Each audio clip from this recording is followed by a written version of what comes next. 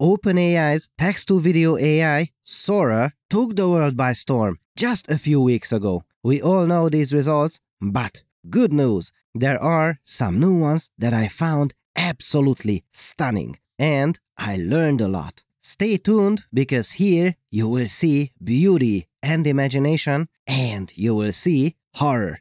I was not ready to see the horror. Dear fellow scholars, this is 2 Minute Papers with Dr. Károly Zsolnai Fehér. Part 1.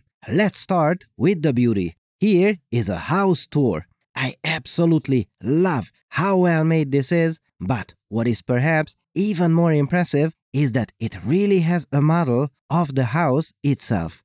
It does not feel like it is just making things up as it goes. And as I am a light transport researcher by trade, that is, ray tracing if you will, when I look at these beautiful reflections and refractions everywhere, this makes me really, really happy. And glossy material models too.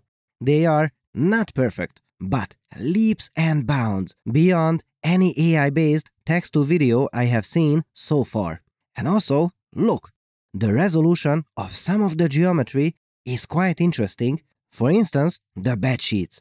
This almost feels like being in a video game where the detail has been toned down a little.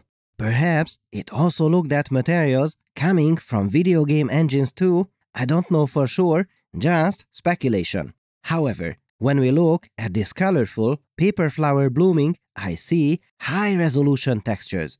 Lots of tiny folds, imperfections everywhere. It is quite interesting how it combines low and high resolution materials. Now, how about a little more action? Oh yes, here I love how it understands the physics of the race car and the movement of the wheels is also incredible. Not perfect, but incredibly good. Also, a tiny little detail that only appears in the last few frames but is super important. Look. Oh my, the interaction of the wheels and the dust. Absolutely lovely. Part 2 Creativity. Oh boy, this is going to be amazing. It can reimagine Niagara Falls, but with colorful paint instead of water.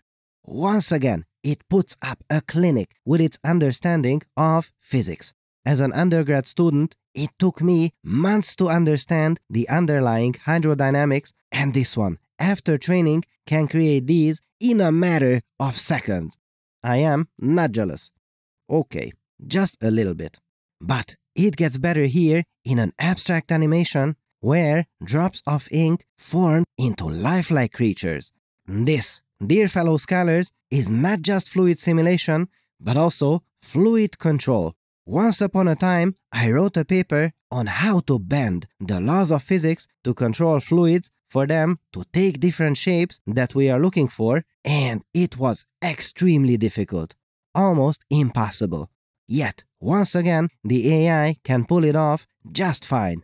I am completely stunned by this. Once again, not jealous, just a little.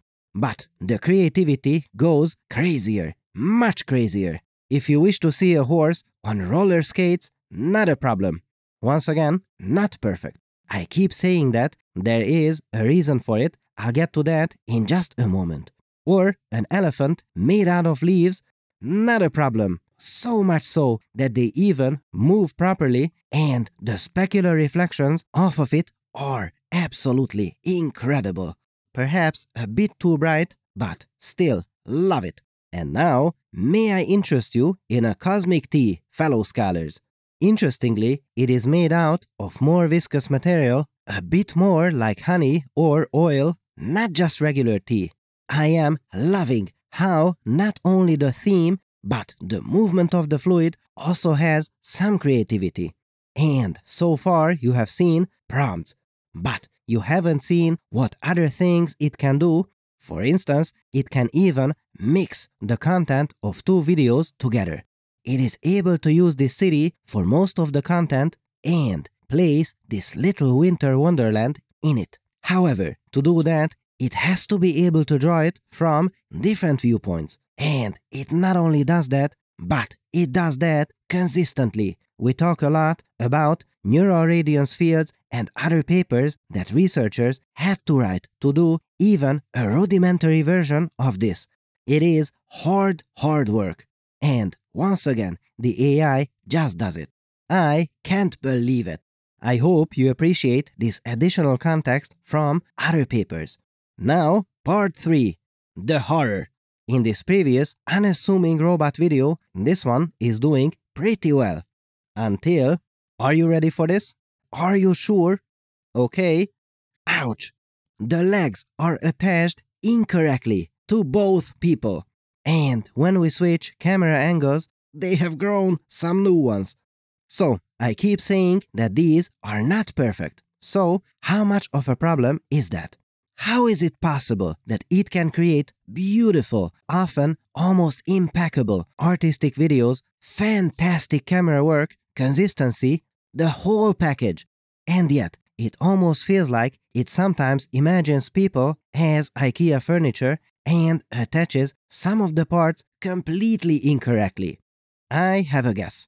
Once again, this is just speculation. But look here. When we don't have a great deal of compute, we get something like this. As we add more computational power, the whole concept really comes to life. And our current compute capacity might very well be the before version that pales in comparison to what we will have just a few months or maybe a year from now. We need just one more paper. And as the technology gets cheaper and cheaper, everyone will be able to become a movie director. You will be able to get 10,000 variants for the same prompt in a matter of seconds soon.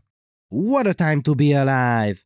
I am also visiting the OpenAI lab in a few weeks, and I really hope that I'll be able to run some prompts to show you in a video. You know, videos of scholars holding onto their papers need to be done. But in any case, all this will likely be available later this year. I cannot wait. Wow! If you're looking for inexpensive cloud GPUs for AI, Lambda now offers the best prices in the world for GPU cloud compute. No commitment or negotiation required. Just sign up and launch an instance. And hold on to your papers because with the Lambda GPU Cloud, you can now get on-demand H100 instances and they are one of the first cloud providers to offer publicly available on-demand H100 access. Did I mention they also offer persistent storage? So, join researchers at organizations like Apple, MIT, and Caltech in using Lambda Cloud instances, workstations, or servers make sure to go to lambdalabs.com slash papers to sign up for one of their amazing GPU instances today.